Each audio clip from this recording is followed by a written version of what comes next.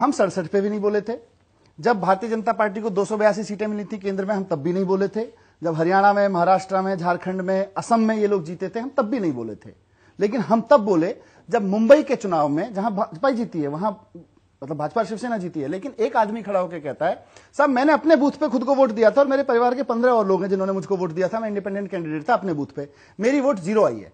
जब पुणे में तीन लोग खड़े होकर कहते हैं कि साहब वोट कास्ट तो कम हुई थी आपकी जो वोट काउंटेड है उनका टोटल ज़्यादा आ रहा है तीन बूथ पे आ रहा है। चलो वो भी डिस्कशन पॉइंट था।